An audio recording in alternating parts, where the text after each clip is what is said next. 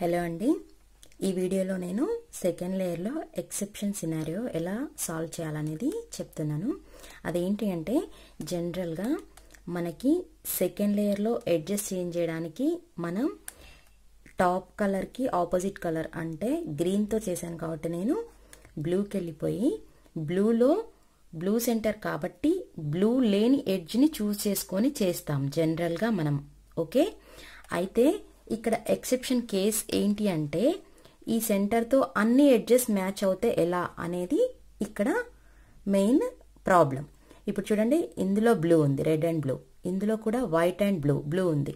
Orange and blue blue ఉంది blue and yellow so all ఎడ్జెస్లో blue ఉంటే ఏం చేయాలి అనేది మన మెయిన్ ప్రాబ్లం ఓకే దాన్ని ఎలా సాల్వ్ చేయాలి అంటే చూడండి ఇప్పుడు ఈ ఆల్ ఎడ్జెస్లో బ్లూ ఉంది అంటే మనకి ఖచ్చితంగా ఈ ఫోర్ ఎడ్జెస్ కరెక్ట్గా ప్లేస్ అయి ఉండవు. ఓకే? అప్పుడు మనం ఏం చేయాలంటే ఏదైనా ఒక ఎడ్జ్ని చూస్ చేసుకోండి. ఏదైనా పర్లేదు. సో ఏదైనా ఒక ఎడ్జ్ని చూస్ చేసుకొని ఈ ఎడ్జ్ మనకి ఈ ప్లేస్లోకి రావాలనుకుంటాం మనం. ఓకే?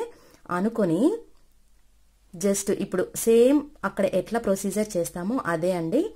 మనం మనం రైట్ సైడ్ ఈ ఎడ్జ్ దగ్గరికి తీసుకురావాలనుకున్నాం కాబట్టి ఇది రైట్ సైడ్ ఉంది కాబట్టి నా హ్యాండ్కి డౌన్ లేయర్ని లెఫ్ట్కి టర్న్ చేస్తాం. ఆ తర్వాత రైట్ని డౌన్కి టర్న్ చేస్తాం. ఆ తర్వాత డౌన్ లేయర్ని బ్యాక్కి టర్న్ చేస్తాం. ఆ తర్వాత రైట్ని కూడా బ్యాక్కి టర్న్ చేస్తాం. ఇక్కడ మనకి యాజ్ యూజువల్గా మిస్ప్లేస్ అవుతుంది గ్రీన్ మనం ఫస్ట్ లేయర్లో చేసిన లాజిక్ యూజ్ చేసి దాన్ని చేస్తాం. నా హ్యాండ్కి ఇది లెఫ్ట్ సైడ్ ఉంది కాబట్టి ఈ రెడ్ ప్లేస్లో ఈ గ్రీన్ రావాలి.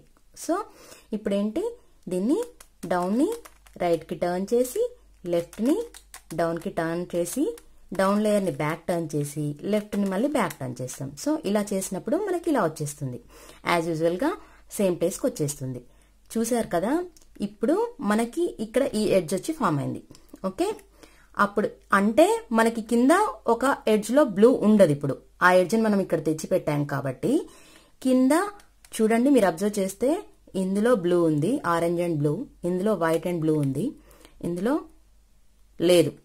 ఇక్కడ రెడ్ అండ్ బ్లూ ఉంది. చూసారు కదా ఒక ఎడ్జ్లో బ్లూ అనేది లేదు. ఎందుకంటే బ్లూ ఉన్న ఎడ్జ్ని తీసుకొచ్చి మనం ఇక్కడ పెట్టాం. కాబట్టి ఇక్కడ లేదు. సో ఇప్పుడు ఏం చేస్తామంటే సేమ్ ప్రొసీజర్ చేసేస్తాం ఇప్పుడు.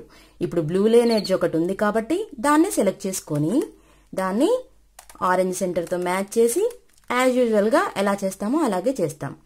డౌన్లో వైట్ ఉంది కాబట్టి వైట్ లెఫ్టో రైటో వస్తుంది మనకి. లెఫ్ట్ సెంటర్తో మ్యాచ్ అయింది నాకు.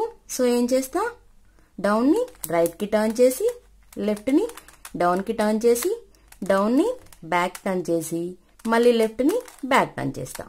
ఓకే ఇప్పుడు మనకి ఇక్కడ జనరల్గా ఎట్లా పోతుందో? ఇక్కడ ఒక గ్రీన్ మిస్ప్లే మిస్ప్లేస్ అయిపోతుంది. దీన్ని మనం మళ్ళీ చూడండి ఇది నాకు రైట్ హ్యాండ్ సైడ్ ఉంది.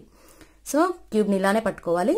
ఇప్పుడు డౌన్ని లెఫ్ట్కి టర్న్ చేసి రైట్ని డౌన్కి టర్న్ చేసి డౌన్ని మళ్ళీ బ్యాక్ టర్న్ చేసి మళ్ళీ రైట్ని మళ్ళీ బ్యాక్ టర్న్ చేస్తాం. చూసారు కదా? మనం ఇప్పుడు తీసుకున్న వైట్ అండ్ ఆరెంజ్ కరెక్ట్గా ప్లేస్ అయింది కరెక్ట్గా టర్న్ అయింది.